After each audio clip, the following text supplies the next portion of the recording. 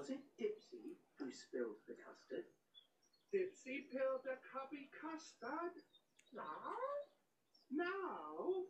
And sure enough, the footprints carried on. Hmm. Who spilled